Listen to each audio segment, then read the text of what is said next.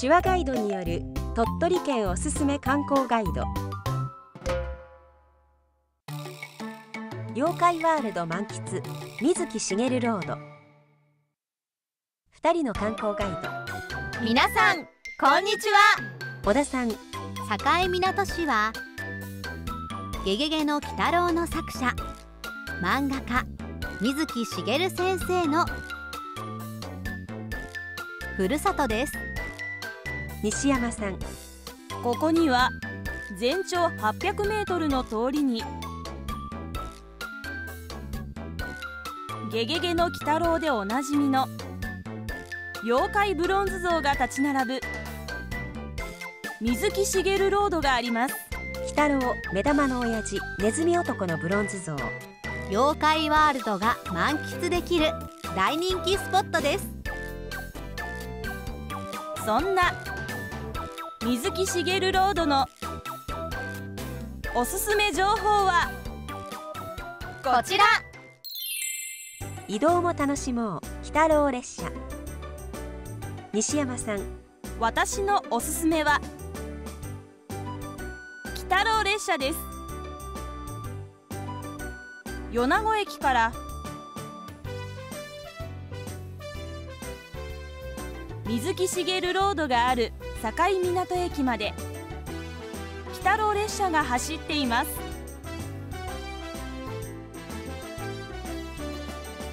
鬼太郎列車はカラフルな車両に。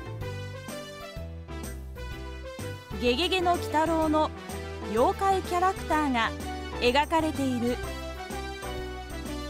ユニークな列車です。猫娘の車両に乗り込む2人。出発するホームも雰囲気抜群ですね。目玉の親父を頭に乗せた鬼太郎やカラス天狗のブロンズ像。2両編成の列車が出発する。さあいよいよ出発です。米子駅から境港駅まではおよそ45分。列車の外側だけではなくて車内のいろいろなところにも妖怪キャラクターが描かれていますね。そうですね。面白いですね。猫娘だけではなくて他の妖怪キャラクターの列車にも乗ってみたいですね。そうですね。各駅停車なのでのんびりしていますね。のどかな畑の風景が広がっている境港駅に到着。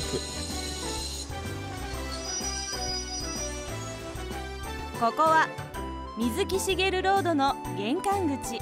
机で漫画を描く水木しげるのブロンズ像。そばで見ている鬼太郎とネズミ男。駅前はすでに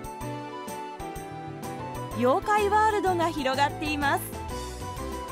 皆さんも水木しげるロードへは鬼太郎列車で行ってみてください。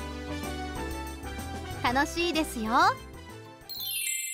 妖怪グッズグルメが盛りだくさん。小田さん。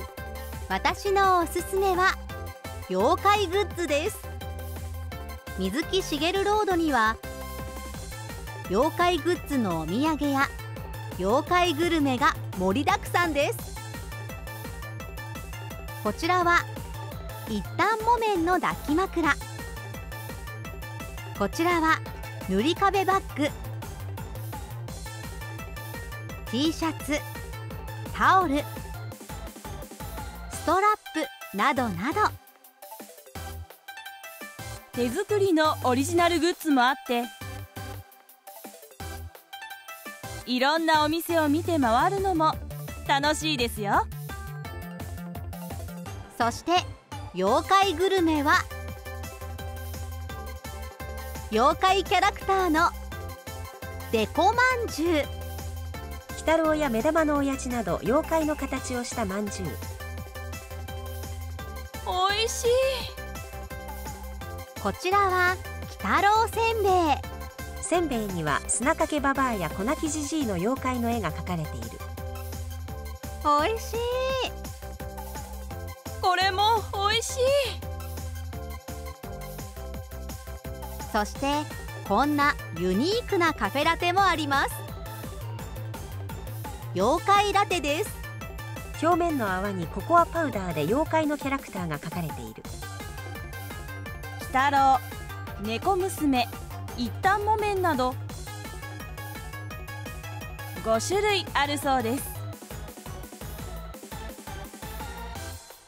ラテを飲む2人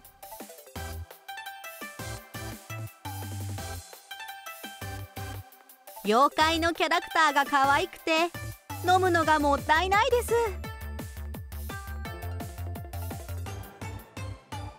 味もなかなかのカフェラテです。美味しい。皆さんもお気に入りのグッズグルメを見つけてください。いかがですか？妖怪ワールドが満喫できる水木しげるロード。これはおすすめ情報のほんの一部です。あとは皆さんが来てみて体験してください。バイバイ。企画鳥取県。協力鳥取県聴覚障害者協会。イラストレーションクララ。撮影サインビデオシステム。